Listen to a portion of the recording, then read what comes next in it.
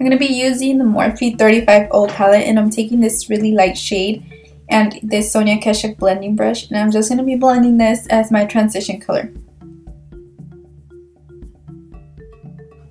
I'm now taking a shade that's right under it and it has a little bit more of an orange tone and I really like that because I want that to be kind of a transition color so I'm just applying that right over and I'm using the same blush so that the colors kind of create a harmony.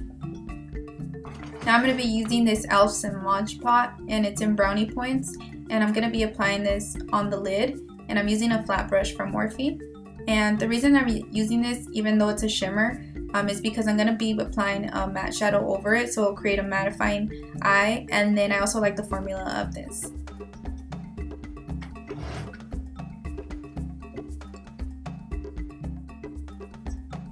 Then I'm going to be going to the color right next to it and it's a little bit darker and I'm to just use the same brush, a same fat brush and I'm to be patting this all over the lid and a little bit higher to the crease as well to help it blend. Now I'm to be adding more colors as um, as the look continues so it just depends however dark you want your smoky eye. Now I'm using the same uh, blending brush that I was initially using just to blend everything together. Now I'm going into a darker shade here and it has more of a red tone and I'm to be applying this the same way on top and I'm just to be patting it over that color and a little bit higher to the crease. And then I'm going to be using a 217 brush from MAC with that same color and just blending it a little bit more into the crease so it's a little bit more defined.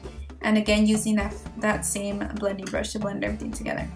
Now I'm going into the darker colors here and I'm going to be using this same flat brush because I want the colors to kind of go together and feel like they belong together. So I'm tapping this and I'm again I'm doing the same thing. Then taking the 217 to blend those two colors together as you can see.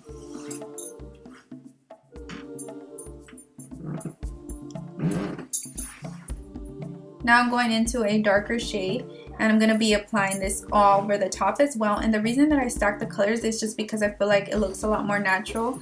Not natural but the colors look they flow more um, they flow together nicely. And I'm just creating a really defined crease. And you can also bring that to the lower lash line. And it just depends how dark you want the lower lash line or the under the eye. So it's really up to you and then once I'm done, I'm to go ahead and use a regular blending brush and just blend everything together. And I'm being really quick and messy with it because that's kind of the look that I want. So if you really want to perfect it, then just go ahead and take your time for that. Okay, now I'm using this NYX uh, pencil and I'm to be using that on the waterline. And then after that, I cleaned under my eyes because for foundation. Now I'm using the 209, 203 double up from Ardell and I'm going to be stacking these. They are a bit dramatic, but I did kind of like how they looked with the look.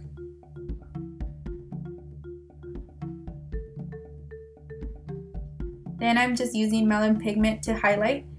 And I'm going to be using that same pencil that I use on the waterline for lip liner. And I'm just going to be applying this all over my lips. Now I like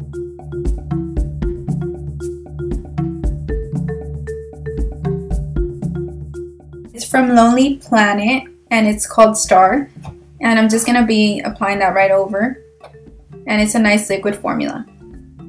You can use any brown color that you like for a chroma monochromatic look.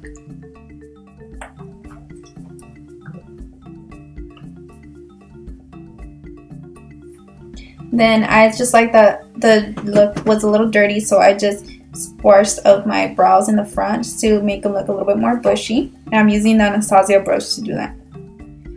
And that completes the look. I hope you guys enjoyed this video. Thumbs up if you like it. And I will talk to you guys soon. Bye.